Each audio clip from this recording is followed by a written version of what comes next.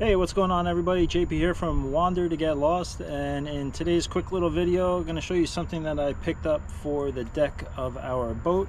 Um, something that I've wanted for a little while, especially under the gas tank, but also now with stone crab season coming up and pulling tra traps out. Uh, it's this little plastic mat system that's going to go on the deck. So stick around, we'll do a quick install and see if it all works. All right all right everybody. So i snagged these off of amazon. They came in a 12 pack I'll put a link down below and it was uh, i think 21.99 i originally saw these at west marine when i was in there and they were a lot more money there. So uh, basically they have these little opening tabs right here and then you take the underside uh, male and you just pop those in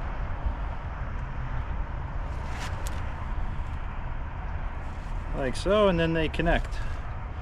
Um, that's it. So we're gonna put it down here on the deck and uh, hopefully uh, get this under the fuel tank and then I could stop some of this growth that's happening under the fuel tank from uh, stagnant water. Um, today is the first day that you can put your stone trap your stone crab traps in the water. It's October 5th first day of the season is October 15th but now there's a new tropical storm in the Gulf and we're expected to get some uh, major winds and rain I think on by Tuesday night into Wednesday possibly um, yeah. So uh, gonna wait to drop our traps after that storm passes. I don't feel like having to drive around for hours searching for them in case they get blown away. So all right let's uh, throw this down on the deck see how it works. I think I'm gonna use four. They are 12 by 12 I think four under the tank should do the job well. So, all right. All right, so here we go. I'm just trying to, I guess, lay this out so it makes sense.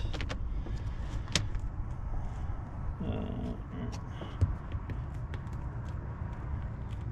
I kind of want a flat edge, I think, against the uh, the gunnel wall. I think that would work. Probably not. Just like that. Nope. It has to be like that. Alright, we'll see how this goes. That should be big enough for our, the fuel tank.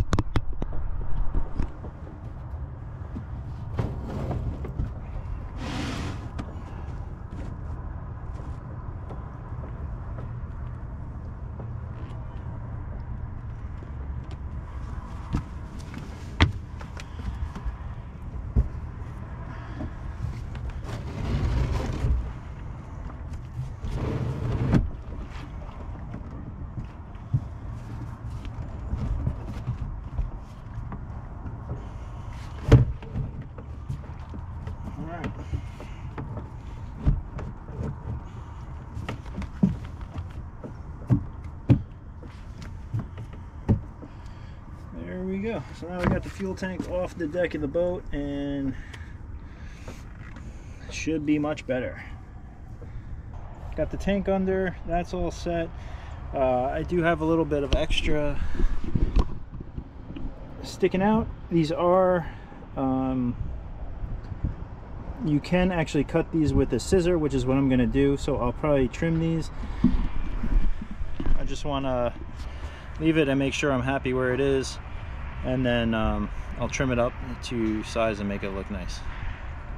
All right nice easy video. That's it for today. Uh, was gonna make a stone crab uh, video about putting our traps in the water but with the uh, impending tropical storm hurricane.